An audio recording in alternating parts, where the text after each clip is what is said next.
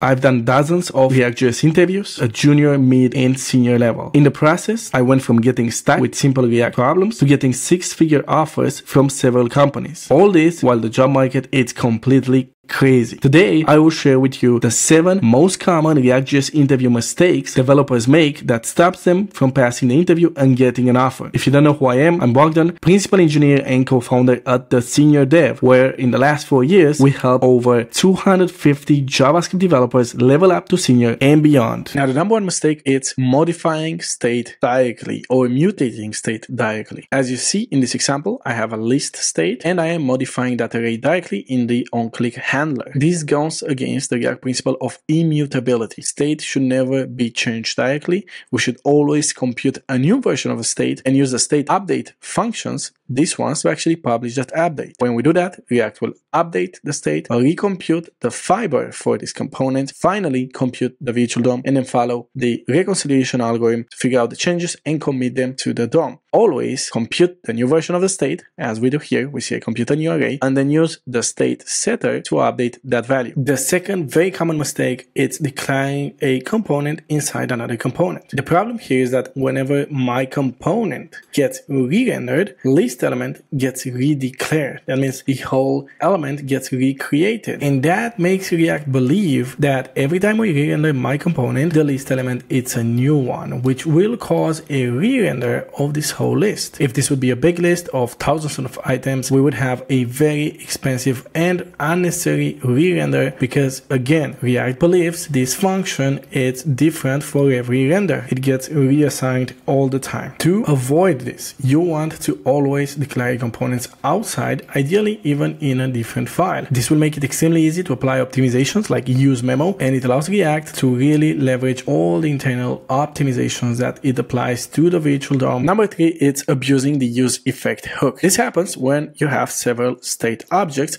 and you might want them to change in a chain effect. So when the user clicks on changing the color, I want to set the color to blue, but I also want to increase my counter. A natural way to do that is to attach an effect to color and set well, whenever you change the color, also call set the count. The problem with this is that effects will run at the end of the re-rendering process. So basically React will recompute our changes, do the virtual DOM reconciliation, commit the changes to the DOM, and then run the effects. And then it will start over and doing an extra re-render render. This can be a huge performance killer. Effects should not be used for state updates like this, but rather calls outside the system, outside our application. Instead, you could actually run both state setters on click. Now, a lot of people might think this will also trigger two re-renders because we update state twice, but in reality, React will use the fiber tree to batch those updates and only trigger one re-render and commit once to the DOM. The fact we don't have an effect here means there is no re-render after the first render. It's just going to be one single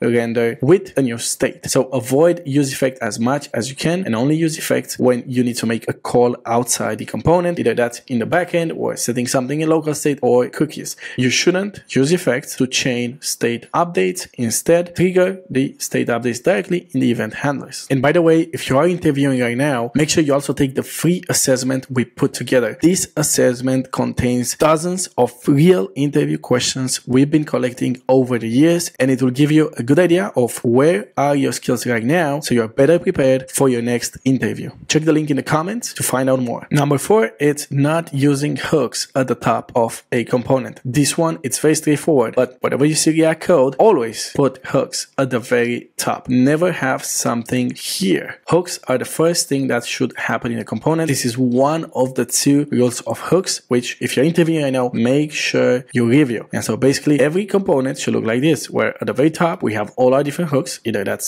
context hooks, state hooks, or use user hooks, and then our event handlers follow. Number five, it's not having stable keys for your list items. Basically, using indexes from arrays as a key item. This is a very obvious one. It's very well mentioned in the React documentation, but people still do it, especially in live coding interviews. The problem with this is that in order for React to have a fast reconciliation algorithm, React assumes that two elements are not the same if they have a different key. What can happen is that whenever we change the list by removing an element, so imagine I have, you know, a couple of items, pop, pop, pop, and I go ahead and remove this one, I remove this one, all the other IDs will change because all these elements might be shifted. In that scenario, React will consider that all the elements here have changed and the keys are what we call unstable and it will not be able to reuse any of it so it will re-render the full list. Instead, you want to use stable IDs, ideally from the backend for your list items. In this case, my backend data has IDs and I'm using that directly as a key. In this way, React knows which elements are still there and which ones have changed. So it will never re-render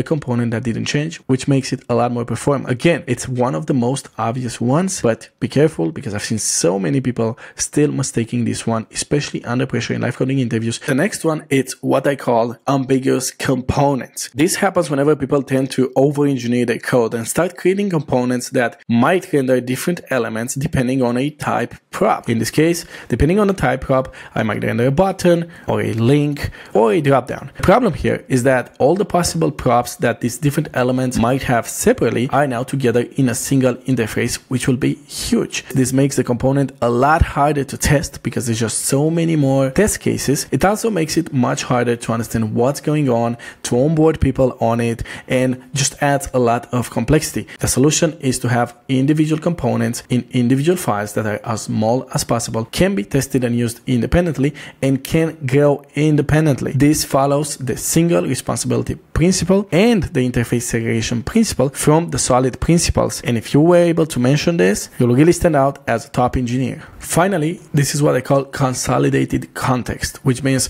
we take different data that might change independently and that different components might not necessarily subscribe to and put it together in a single context provider. What will happen here is that number one, we're going to have a huge interface here, a lot of props. And so of course, everything is more error prone. Number two, whenever any of those context state changes, we will update everybody that subscribed to this. What I mean is if the notifications change, everybody that's actually using team and user will also re-render. Instead, you want to create different context and context providers. So we put teaming in one of them.